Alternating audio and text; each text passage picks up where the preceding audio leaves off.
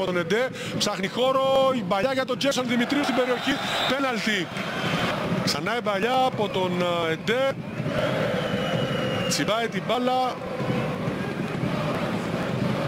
Ο Τζέσον Δημητρίου για να το ξαναδούμε καλά.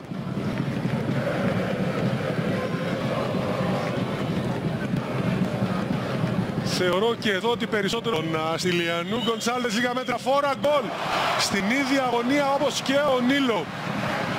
Πω ξανά η εκτέλεση όπως και ο Καμίνσκι στο πρώτο ημίχρονο έτσι και ο Στυλιανού έπεσε σωστά στη γωνία αλλά δεν κατάφερε. Τσίνα η σέντρα στην περιοχή